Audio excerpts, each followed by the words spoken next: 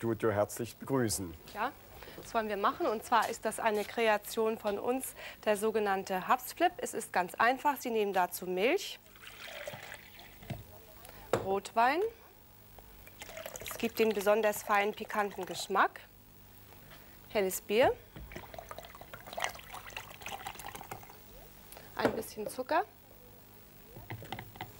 Je nachdem, wenn Sie es etwas süßer mögen, ein bisschen mehr. Ein ganzes Ei dann noch zur richtigen Schärfe ein bisschen Pfeffer. Das Ganze wird dann mit dem RG28 gemixt.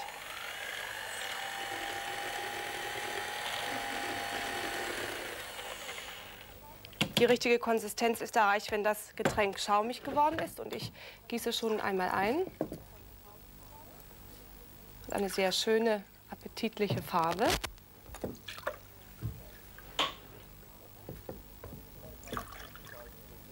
So. Und vielleicht haben viele Zuschauer schon mitgeschrieben, aber zum Notieren, es lohnt sich.